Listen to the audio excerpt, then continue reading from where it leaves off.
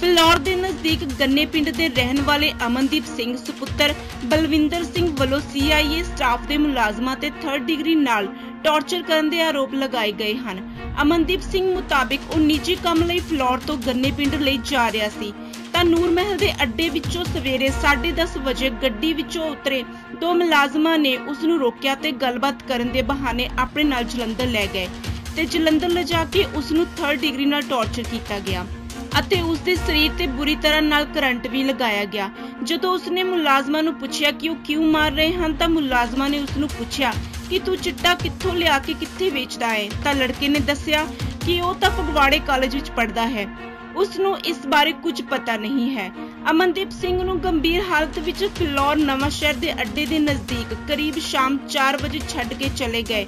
ਤਾਂ ਲੜਕੇ ਨੇ ਆਪਣੇ ਪਰਿਵਾਰ ਨਾਲ ਸੰਪਰਕ ਕੀਤਾ। ਤਾਂ ਉਸ ਦੇ ਪਰਿਵਾਰ ਨੇ ਉਸ ਨੂੰ ਗੰਭੀਰ ਹਾਲਤ ਵਿੱਚ ਸਿਵਲ ਹਸਪਤਾਲ ਫਿਲੌਰ ਵਿੱਚ ਦਾਖਲ ਕਰਵਾਇਆ ਹੈ। ਮੇਰਾ ਨਾਮ ਅਮਨਦੀਪ ਸਿੰਘ ਕੀ ਹੋਇਆ? ਮੈਨੂੰ ਇੱਥੇ ਫਲੋਰ ਬਿਨਾਂ ਗੱਲ ਤੋਂ ਸੀਏ ਸਟਾਫ ਵਾਲੇ ਚੱਕ ਕੇ ਲੈ ਗਏ। ਇਕਬਾਲ ਸਿੰਘ ਨਾਲ ਇੱਕ ਪ੍ਰਵੀਨ ਸੀ ਤੇ ਕਹਿੰਦੇ ਤੇਰੇ ਨਾਲ ਗੱਲਬਾਤ ਹੀ ਕਰਨੀ ਹੈ ਗੱਡੀ ਵਿੱਚ ਪੈ ਜਾ। ਮੈਂ ਪੈਂਦਾ ਨਹੀਂ ਸੀ ਨਾ ਧੱਕੇ ਨਾਲ ਬਿਠਾਇਆ ਤੇ ਫਿਰ ਮੈਨੂੰ ਸਿੱਧਾ ਸੀਏ ਜਲੰਧਰ ਲੈ ਗਏ। ਪਹਿਲਾਂ ਉੱਥੇ ਬੈਠਾ ਫਿਰ ਮੈਨੂੰ ਦੋ ਜਣਿਆਂ ਨੇ ਕਰੰਟ ਲਾਇਆ।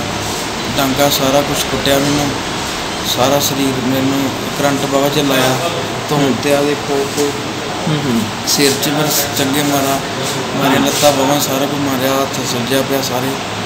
ਬਹੁਤ ਬੁਰੀ ਤਰ੍ਹਾਂ ਮੈਨੂੰ ਜਿੱਦਾਂ ਕਰੰਟ ਲਾਈ ਗਏ ਬਾਰ-ਬਾਰ। ਕਹਿੰਦੇ ਤੂੰ ਜਿਹੜੇ ਪਿੰਡ ਦੇ ਗਲਤ ਕੰਮ ਚਿੱਟੇ ਦਾ ਕਰਦੇ ਕਹਿੰਦਾ ਤੂੰ ਉਹਨਾਂ ਦਾ ਨਾਮ ਲੈ ਫਿਰ ਤੈਨੂੰ ਛੱਡ- ਛੱਡਾਂਗੇ। ਜੇ ਕਹਿੰਦਾ ਤੂੰ ਨਹੀਂ ਫੜਾਏ ਜੇ ਕਹਿੰਦਾ ਤੂੰ ਜੇ ਤੂੰ ਨਹੀਂ ਫੜਾਏ ਤੇ ਤੇ ਕਹਿੰਦਾ ਹਫ਼ਤੇ ਦਾ ਟਾਈਮ ਆ।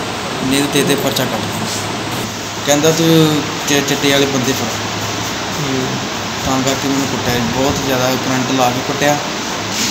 ਦੋ ਤਿੰਨ ਜਣਿਆਂ ਨੇ ਕਰੰਟ ਲਾ ਕੇ ਕੁੱਟਿਆ ਫਿਰ ਧੋਣਾ ਤੇ ਮਾਰਦੇ ਮੈਨੂੰ ਕਾਫੀ ਜ਼ੋਰ ਜ਼ੋਰ ਅਮਨਦੀਪ ਸਿੰਘ ਦੀ ਮਾਤਾ ਸੁਨੀਤਾ ਨੇ ਕਿਹਾ ਹੈ ਕਿ ਉਸਦੇ ਪੁੱਤਰ ਤੇ ਬਿਨਾਂ ਕਿਸੇ ਕਾਰਨ ਸੀਆਈਏ ਸਟਾਫ ਦੇ ਮੁਲਾਜ਼ਮਾਂ ਵੱਲੋਂ ਬੁਰੀ ਤਰ੍ਹਾਂ ਕਰੰਟ ਲਾ ਕੇ ਕੁੱਟਮਾਰ ਕੀਤੀ ਗਈ। ਉਹਨਾਂ ਨੇ ਪ੍ਰਸ਼ਾਸਨ ਤੋਂ ਇਨਸਾਫ ਦੀ ਮੰਗ ਕੀਤੀ ਹੈ। ਮੇਰਾ ਨਾਮ ਅਮਨਦੀਪ ਸਿੰਘ। ਹਾਂਜੀ। ਗੰਨਾ ਪਿੰਡ। ਹਾਂਜੀ। ਬਹੁਤ ਧੱਕਾ ਹੋ ਰਿਹਾ ਇਹਦੇ ਨਾਲ। ਬੱਚੇ ਬੱਚੇ ਸਾਡੇ ਗਿਆ ਜੀ ਮੋਟਰਸਾਈਕਲ ਠੀਕ ਕਰਾਉਣ। ਇਹਨਾਂ ਨੂੰ ਮਤਲਬ ਗਾਬੇ ਦੁਕਾਨ ਲੱਗੂ ਚੁੱਕ ਕੇ ਲੈ ਗਏ ਆ। ਮਤਲਬ ਕਰੰਟ ਬਹੁਤ ਜ਼ਿਆਦਾ ਲਾਇਆ ਬਹੁਤ ਮਤਲਬ ਮਾਰਿਆ। ਇੱਥੇ ਸਲਾਟ ਵੀ ਹੱਥ ਤੇ ਵੀ ਪਏ ਆ। ਫਿਰ ਧੱਕਾ ਹੋ ਰਿਹਾ ਹਰ ਵਾਰ ਧੱਕਾ ਕਰ ਰਹੇ ਸਾਡੇ ਨਾਲ। ਕੌਣ ਸੀ ਬੰਦੇ? ਬੰਦੇ ਹੀ ਪੁਲਿਸ ਵਾਲੇ ਸੀਐਸ ਸਟੈਪ ਵਾਲੇ ਹੀ। ਅੱਛਾ ਹੁਣ ਬੱਚਾ ਕਿੱਦਾਂ ਤੁਹਾਡਾ ਕਿੱਥੇ ਹੈ ਬੱਚਾ ਸਾਡਾ ਹੁਣ ਜੀ ਸਿਵਲ ਹਸਪਤਾਲ ਹਾਂਜੀ। ਸਿਵਲ ਹਸਪਤਾਲ। ਅੱਛਾ ਕੀ ਹਾਲਾਤ ਹੈ ਉਹਦੇ? ਠੀਕ ਹੈ। ਉਹਦੇ ਇਲਾਜ ਨਹੀਂ ਠੀਕ ਹੈ ਜੀ। ਹਾਂ। ਸਾਡੀ ਇਹੋ ਬੇਨਤੀ ਹੈ ਸਾਡੇ ਬੱਚੇ ਨੂੰ ਇਨਸਾਫ ਮਿਲਣਾ ਚਾਹੀਦਾ। ਸਾਡੇ ਨਾਲ ਧੱਕਾ ਹੋ ਰਿਹਾ। ਮਾਰਿਆ ਕਿਹੜੀ ਗੱਲੋਂ? ਇਹਨਾਂ ਨੇ ਝੂਠਾ ਵਿਖਾਉਂਦੇ ਵੀ ਤੂੰ ਦੋ ਨੰਬਰ ਦਾ ਕੰਮ ਕਰਦਾ ਹੈ। ਅੱਛਾ। ਹਾਂਜੀ। ਮੇਰਾ ਬੱਚਾ ਪੜ੍ਹਾਈ ਕਰ ਰਿਹਾ। ਹਾਂ। ਪਖਵਾੜੇ ਪੜਦਾ ਜੀ। ਹਾਂ। ਇਹੋ ਬੇਨਤੀ ਸਾਨੂੰ ਇਨਸਾਫ ਮਿਲਣਾ ਚਾਹੀਦਾ। ਉਹਨਾਂ ਦੀ ਕਾਰਵਾਈ ਕਰਨੀ ਚਾਹੀਦੀ ਜਿਹੜਾ ਇਹਨਾਂ ਕਰੰਟ ਲਾ ਲਾ ਕੇ ਮਾਰਿਆ ਬੱਚੇ ਮੈਨੂੰ ਸਿਵਲ ਹਸਪਤਾਲ ਫਿਲੌਰ ਦੇ ਐਸਐਮਓ ਜਤਿੰਦਰ ਸਿੰਘ ਵੱਲੋਂ ਤਿੰਨ ਡਾਕਟਰਾਂ ਦੀ ਪੈਨਲ ਟੀਮ ਦੁਆਰਾ ਅਮਨਦੀਪ ਦੀ ਡਾਕਟਰੀ ਕਾਰਵਾਈ ਕੀਤੀ ਗਈ ਹੈ। ਉਹਨਾਂ ਕਿਹਾ ਹੈ ਕਿ ਲੜਕੇ ਦੀ ਹਾਲਤ ਹੁਣ ਖਤਰੇ ਤੋਂ ਬਾਹਰ ਹੈ। ਹਾਂਜੀ ਸਾਡੇ ਕੋਲ ਆਏ ਨੇ Amandeep Singh 19 year old male patient ਆਇਆ ਸਨ of ਬਲਵਿੰਦਰ ਸਿੰਘ ਗੰਨਾ ਪਿੰਡ ਤੋਂ। ਇਹ ਆਏ ਨੇ 750 ਤੇ। ਅਲੈਜਡ ਹਿਸਟਰੀ ਆਫ ਟਾਰਚਰ ਸੀ ਤੇ ਕਨਫਾਈਨਮੈਂਟ ਬਾਈ ਪੁਲਿਸ ਇਹਨਾਂ ਨੂੰ ਕੁਝ ਸ਼ੌਕ ਵਗੈਰਾ ਲਗਾਇਆ। ਅਕੋਰਡਿੰਗ ਟੂ ਦ ਪੇਸ਼ੈਂਟ ਜਿੱਦਾਂ ਇਹ ਦੱਸਦੇ ਨੇ ਸਾਨੂੰ। ਇਹਨਾਂ ਨੂੰ ਅਗਵਾ ਕਰਕੇ ਲੈ ਗਏ ਸਿਵਲ ਚ ਸੀ। ਹਾਂਜੀ। ਤੇ ਫਿਰ ਉਸ ਤੋਂ ਬਾਅਦ ਛੱਡ ਗਏ। ਹਾਂ ਗਾਬਾ ਸਵੀਟਸ ਇੱਥੇ ਫਲੋਰ ਦੇ ਕੋਲ ਉੱਥੋਂ ਅਗਵਾ ਕੀਤਾ ਸੀ।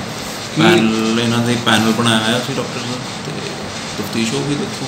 ਕਿਦਾਂ ਦੇ ਹਾਲਾਤ ਲੱਗ ਰਹੇ ਨੇ? ਹਾਂਜੀ। ਹਾਲਾਤ ਕਿਦਾਂ ਦੇ ਠੀਕ ਹੈ ਹਾਂ ਸਟੇਬਲ ਆ ਸਟੇਬਲ ਥੋੜਾ ਘਬਰਾਇਆ ਹੋਇਆ ਬਾਕੀ ਸਟੇਬਲ ਫਿਲੌਰ ਤੋਂ ਰਾਜਕੁਮਾਰ ਨੰਗਲ ਦੀ ਰਿਪੋਰਟ।